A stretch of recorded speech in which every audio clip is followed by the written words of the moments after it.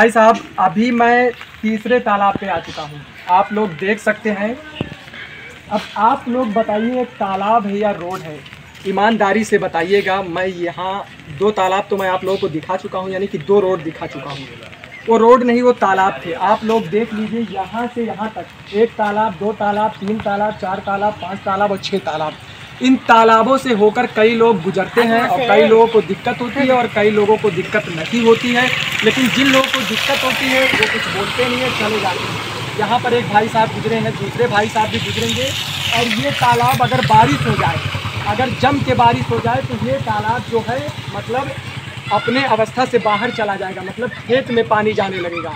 यहाँ पे बहुत से लोगों को दिक्कत होती है, लेकिन बहुत से लोग बोलते नहीं यहाँ पर देखिए पूरा जो है पानी इस साइड तक भर चुका है। यहाँ पर अगर पैदल किसी को निकलना हो तो भाई ये जूते निकाल दे और चप्पल पहन ले और चप्पल को हाथ में ले ले तब वहाँ से वहाँ जाए। मैं वहाँ तक नहीं पहुँच सकता हूँ क्योंकि मेरा कैमरामैन जो है थक जाएगा।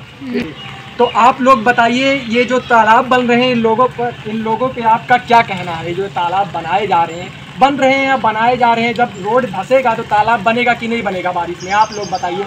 नाला है नहीं। और नाला का है, रोड का है, कोई पता नहीं है। तालाब इसमें नाला बनेगा, इसमें नाला नहीं बनेगा।